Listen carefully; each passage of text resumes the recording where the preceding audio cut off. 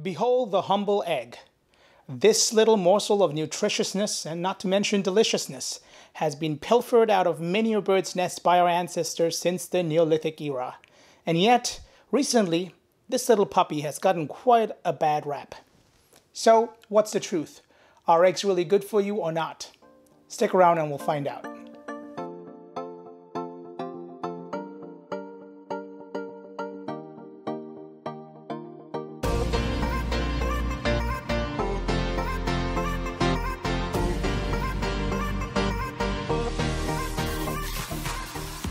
Hi guys, welcome to another episode of Ask Dr. Rasi. Before we start today, I'm gonna have to make three pointers to you. Number one, I wanna start off with an apology for not having a video for the last couple of weeks.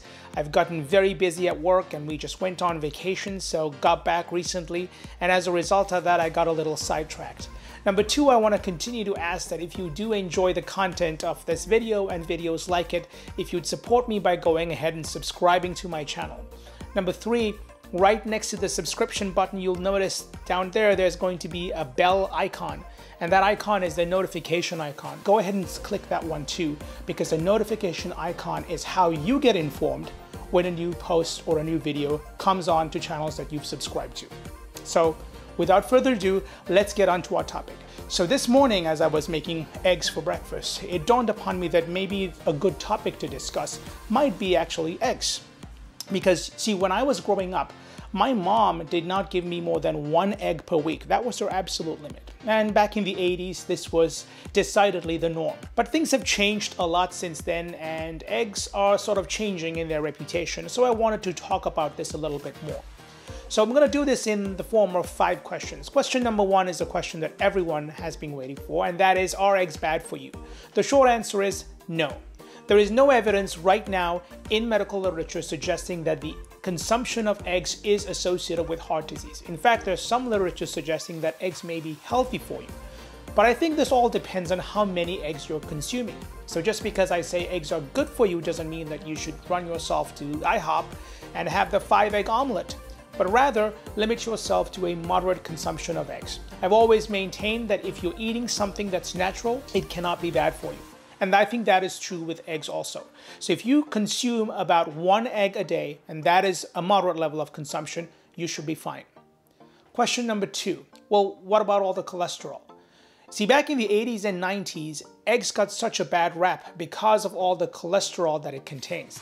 We found that cholesterol causes heart disease and we naturally looked at what foods contain cholesterol and eggs were foremost among them. So people naturally did not eat eggs out of fear that the cholesterol that they consume from the eggs would go straight into their arteries and cause heart attacks.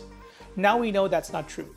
Yes, cholesterol is abundant in eggs. In fact, eggs contain about 185 milligrams of cholesterol.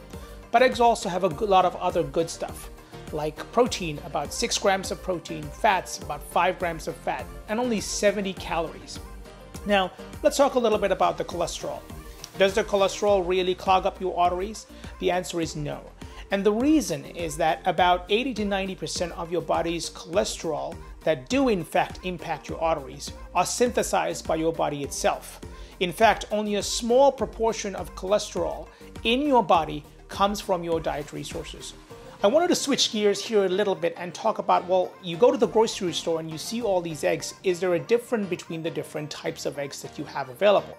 And I sort of put this into three separate questions. Number one, look at the shell color.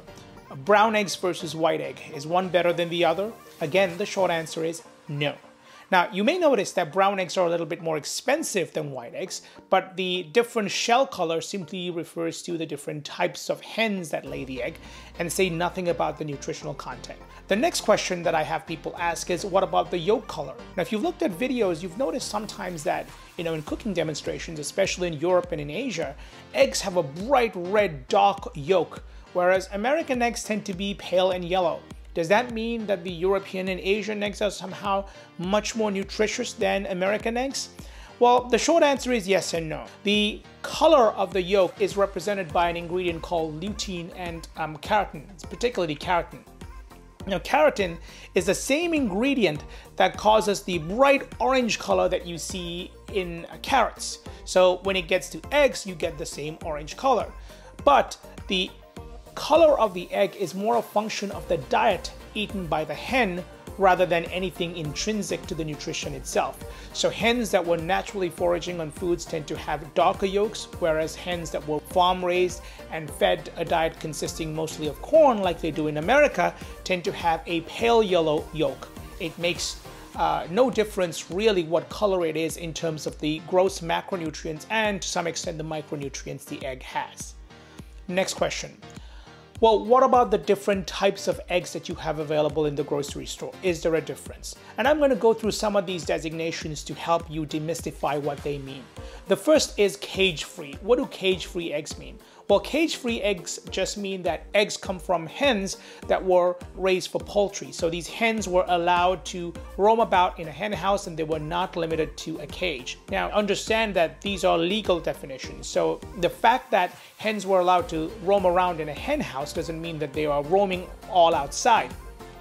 Sometimes the conditions in these hen houses can be pretty cramped. The second designation is um, free range. So what does free range mean? Well, again, legally, free range simply means that the eggs uh, come from hens that are allowed exposure to sunlight or exposure to the outside. Now, exposure against is a again is a legal definition. It does not imply that uh, these chickens are free to roam about outside all the time, but rather if you raise these uh, chickens or hens in a hen house and give them even a little bit of exposure to the outside, it fulfills that definition. So in my opinion, I would not really give any stock to the terms cage-free or free range when you're choosing your eggs. The last designation, and in my mind the most useful one, is pasture raised. Now if I had to choose one type of egg to consume, it will be pasture raised. Essentially, pasture raised eggs mean that these are eggs that come from hens that were pretty much free to roam, uh, mostly outside. Uh, they consume whatever they can find, they forage on whatever they can find, and they essentially come back to the hen house to roost at night. These are probably going to be the best quality eggs that you're going to find, but you'll also find that they are also more expensive. So what's the bottom line? If you had to choose eggs, I would choose pasture raised over any other type. Do not put a lot of stock on free range or cage free. And when consumed in moderation, that is no more than say one egg per day, eggs are pretty good for you. So I hope this helps you making your decisions with respect to your breakfast. And uh, thanks again for watching and look forward to another episode coming up soon.